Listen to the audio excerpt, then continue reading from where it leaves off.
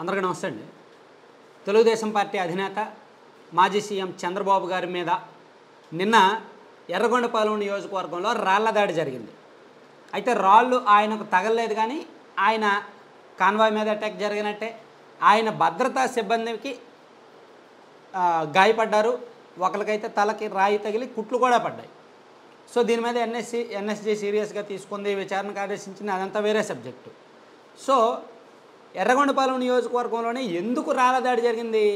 YCP ఎందుకు చేసింది అంటే నారా లోకేష్ గారు దళితులకు వ్యతిరేకంగా ఒక కామెంట్ చేశారంట.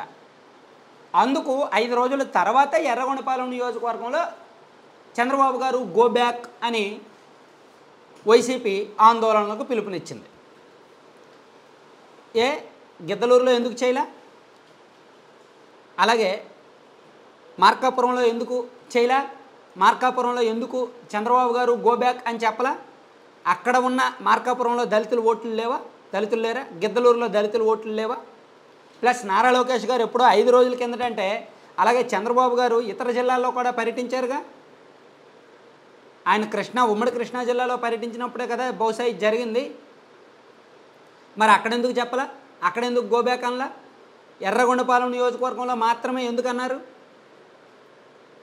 మీరు ఒకసారి ఫ్లాష్ బ్యాక్ వెళ్తే గతేడాది నవంబర్ రెండు వేల ఇరవై రెండులో కూడా నందిగామ నియోజకవర్గంలో సీఎం అప్పుడు అప్పుడు కూడా ఈ టీడీపీ అధినేత చంద్రబాబు గారు పర్యటిస్తున్న సమయంలో చంద్రబాబు గారి మీద ఇలాగే రాళ్ళదాడి జరిగింది.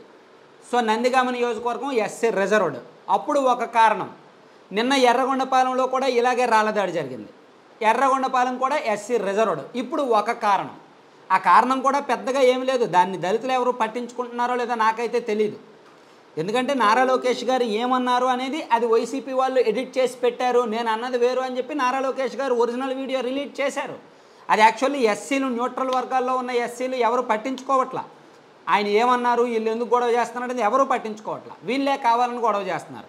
అది కూడా కావాలని ఒక రిజర్వ్డ్ నియోజకవర్గాల్లో మాత్రమే లా రాళ్ళ దాడికి పాల్పడుతుండడం వెనక వ్యూహం ఉందా లేదా? గతంలో కూడా తాడికొండ నియోజకవర్గంలోను అలాగే తిరుపతి ఎంపీ సెగ్మెంట్ పరిధిలోను ఇటువంటివి జరిగాయి. సో అంటే ఇక్కడ మనం రెండు కోణాల్లో చూడొచ్చు. ఒకటి తెలుగుదేశం పార్టీకి ఎస్సీలు వ్యతిరేకమే అని చెప్పడం. తెలుగుదేశం పార్టీకి ఎస్సీలు వ్యతిరేకమే అందుకే రిజర్వ్ నియోజకవర్గాల్లో చంద్రబాబు గారు తిరుగుతున్నప్పుడు ఎస్సీలు తిరుగుబాటు చేస్తున్నారు అని ప్రజలకు సంకేతాలు ఇవ్వడానికి ఒక కోణంలో వైసీపీ వ్యూహం. ఇక మరో వ్యూహం మరో కోణంలో ఆలోచిస్తే ఎస్సీ నాయకులను ఎస్సీలను రాజకీయ లబ్ధి కోసం ఏ విధంగా వాడుకుంటున్నారు అనే కోణంలో కూడా మనం దీన్ని మాట్లాడాలి. మాట్లాడాల్సిన అవసరం ఉంది.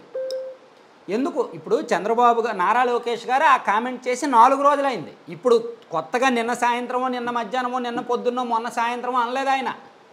నాలుగు రోజుల కిందట అన్నాడు. ఆ నాలుగు రోజుల తర్వాత నారా లోకేష్ గారు పాదయాత్ర చేస్తూనే ఉన్నారు చంద్రబాబు గారు జిల్లాల్లో తిరుగుతూనే ఉన్నారు. మరి గిద్దలూరులోనో మార్కాపురంలోనో అంతకుముందు కడప జిల్లాలోనో ఉమ్మడి కృష్ణా జిల్లాలోనో చంద్రబాబు గారు పర్యటించినప్పుడు పోనీ ఉమ్మడి కృష్ణ పాతదనుకుందాం ఉమ్మడి కృష్ణాలో పర్యటించినప్పుడు ఇష్యూ లేదనుకుందాం వదిలేద్దాం. ఉమ్మడి కడప జిల్లాలో పర్యటించారుగా గిద్దలూరు మార్కాపురంలో పర్యటించారుగా. అప్పుడెందుకు ఎస్సీలు తిరుగుబాటు చేయలా? సో ఇక్కడ ఎస్సీ ప్రజాప్రతినిధుల్ని ఎస్సీ రిజర్వ్డ్ నియోజకవర్గాల్లో ఒక సెంటిమెంట్ రెచ్చగొట్టేలాగా ఏ విధంగా వాడుకుంటున్నారు? ఎస్సీ రిజర్వ్ నియోజకవర్గాల్లో ఒక అగాధం సృష్టిస్తే రాష్ట్ర వ్యాప్తంగా ఉన్న ఎస్సీ ఓట్లు టీడీపీకి పడవు టీడీపీకి దూరం అనే సంకేతాలు జనంలోకి బలంగా వెళ్తాయి అనే ఆలోచనతో కావచ్చు.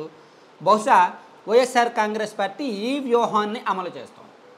ఇది ఇది కులాన్ని రాజకీయం కోసం వాడుకోవడం అనకూడదా? అనొచ్చా? ఒకసారి మీరే ఆలోచించి కామెంట్ చేయండి. Thank you.